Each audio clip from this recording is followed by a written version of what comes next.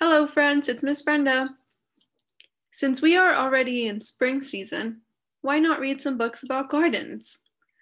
If we remember, spring season is the best time for plants to start sprouting and for flowers to start blossoming. So today's story is titled Badger's Perfect Garden.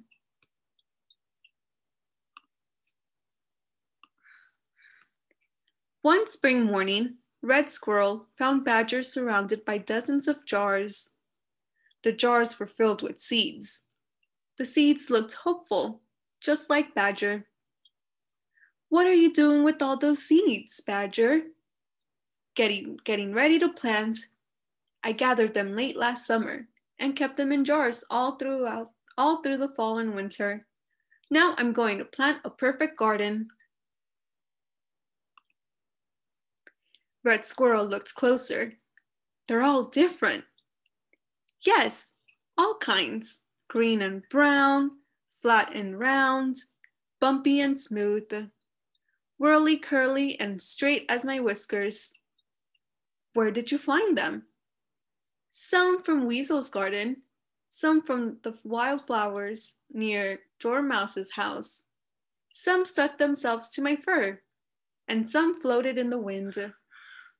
You have so many, said Red Squirrel. You'll need help planting. Weasel brought his favorite rake. Red Squirrel helped Dormouse gather string. Badger studied his garden plan. We have to make sure the ground is perfectly smooth, said Badger. Everyone weeded and raked. When the earth was as smooth as a forest pond in winter, Badger pushed big sticks into the dirt. Red Squirrel and Dormouse stretched string between the sticks to make rows. Be sure the rows are perfectly straight, said Badger. Weasel found a twig to make holes for the seeds.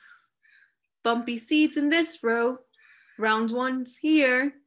Keep the whirlies together, Badger directed. When the seeds were planted, Badger invited his friends to a celebration. Everyone enjoyed muffins and mulberry juice. Badger imagined the plants that would grow in perfect rows in his perfect garden. The next day, the sky sent showers. Badger smiled. The day after that, it sent heavy rain. Badger worried. The day after, the day after, it sent a downpour. Badger grabbed his umbrella and rushed outside.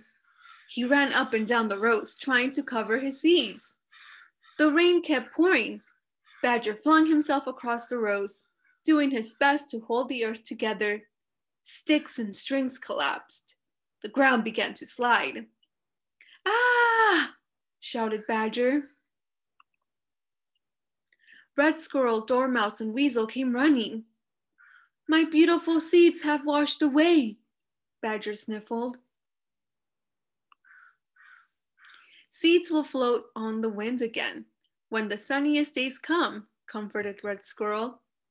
After the wildflowers bloom, there will be seeds to collect, said Dormouse. We can gather seeds when my vegetables ripen, said Weasel.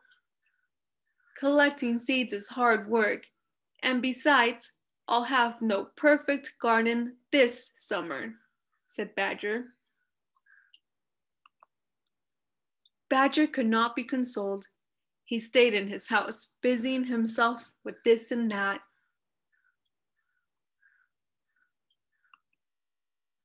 One summer day, in the middle of his afternoon nap, Badger heard a clamoring at his door.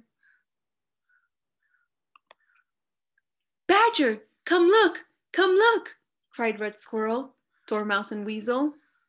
Your seeds found another place to grow. Those can't be my seeds, said Badger, rubbing his eyes. They're all mixed up. They just rearranged themselves, said Red Squirrel. If you hadn't planted them over there, they wouldn't be here.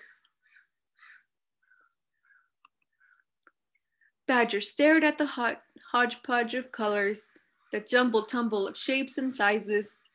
They made him feel jumbly and tumbly too. It looks like a celebration. It's the most perfect garden of all.